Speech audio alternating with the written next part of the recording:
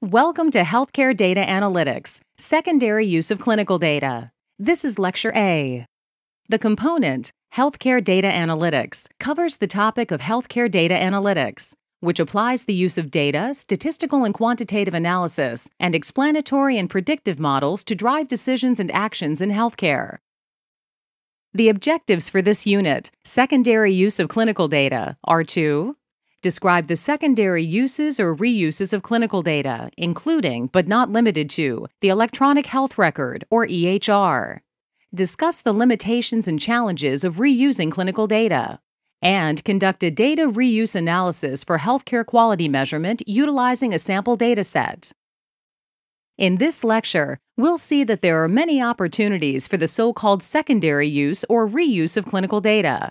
By reuse, we mean making use of patient data beyond its primary use of documenting care that's delivered. These secondary uses were first enumerated in a white paper from the American Medical Informatics Association in 2007. These opportunities, which we will explore in detail in the following slides, are using data to improve healthcare delivery, healthcare quality measurement and improvement, clinical and translational research, public health surveillance, and implementing the learning health system. Let's begin by talking about the use of data to improve healthcare delivery. There is a growing shift in how healthcare is paid for in the United States.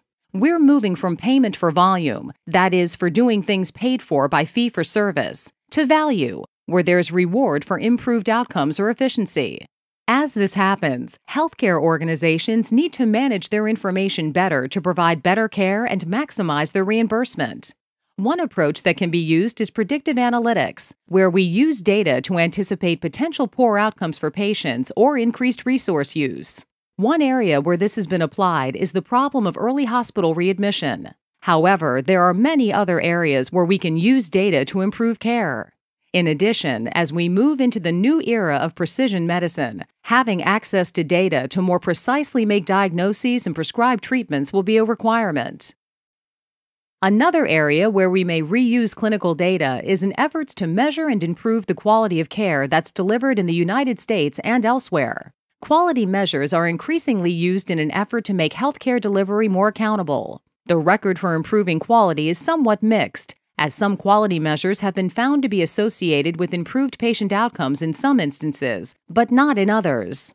There is a desire to derive quality measures from EHR data automatically, in other words, without requiring manual extraction or modification. This has proved challenging with current systems for a variety of reasons. An additional area where we may reuse clinical data is in clinical and translational research. This has been led in part by the activities of the National Institutes of Health, or NIH's Clinical and Translational Science Award, or CTSA program, which has led many institutions to develop clinical data repositories to facilitate research. Another effort has been the Electronic Medical Records and Genomics or eMERGE network, which attempts to associate genotypes and phenotypes. The network has used EHR data to identify phenotypes, such as diseases, that are associated with genomic variants. This has been done successfully for a number of diseases. Another area of reuse of clinical data for clinical and translational research has been the replication of clinical studies.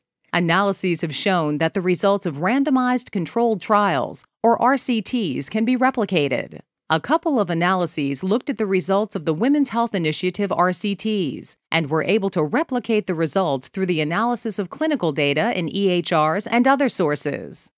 There have also been replications of other studies of cardiovascular disease, as well as those demonstrating the value of statin drugs in primary prevention of coronary heart disease.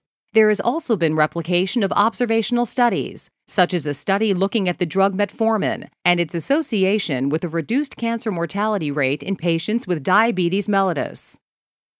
The reuse of clinical data has also been applied in public health, in particular in the area of syndromic surveillance, where we aim to use data sources for early detection of public health threats from sources such as bioterrorism and emergent diseases.